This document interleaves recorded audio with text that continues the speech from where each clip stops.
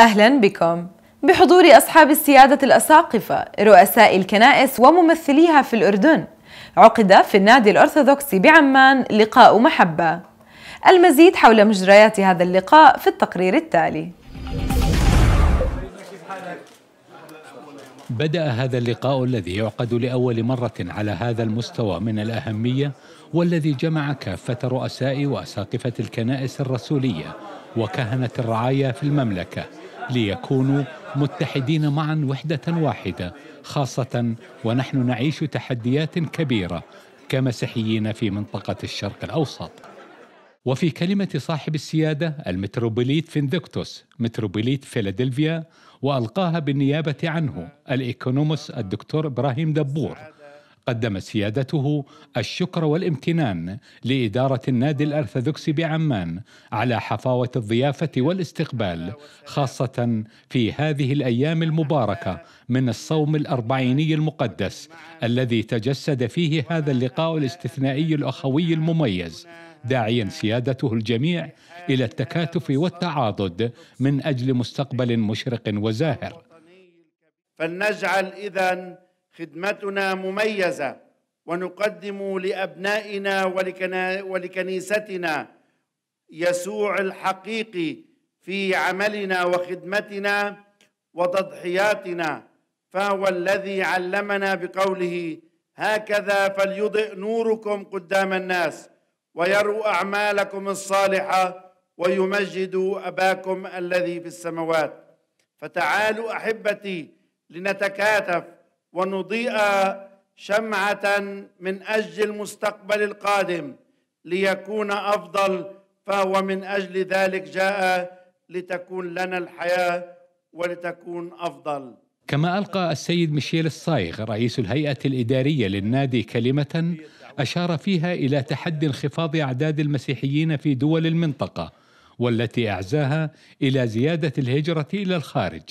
لافتا إلى أن بقاءنا في وطننا العربي والمحافظة على جذورنا التاريخية هي مسؤولية تقع على عاتق الجميع. الإحصائية بتقول إنه التزايد السكاني للأرثوذكس بالذات في لبنان للعائلة 1.74%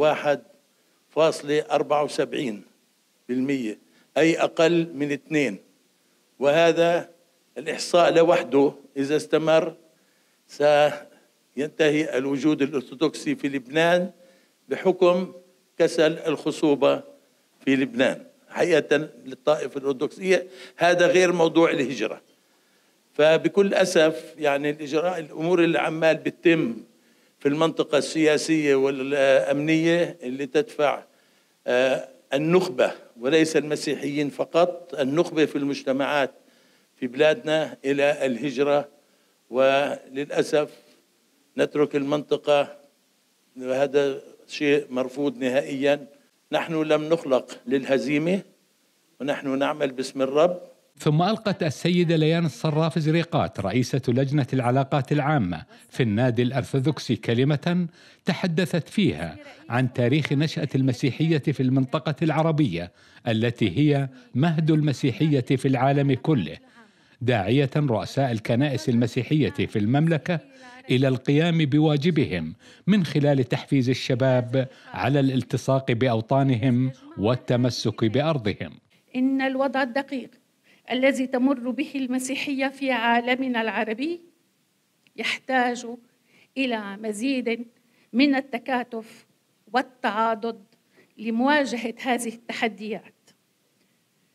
أيها السادة لنعمل معا لكي لا نصل إلى زمن تكون فيه أرض مهد المسيح بلا مسيحيين.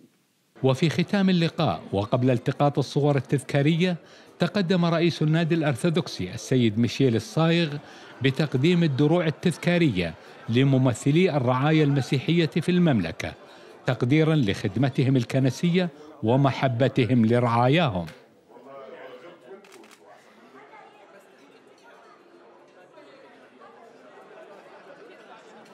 Yeah.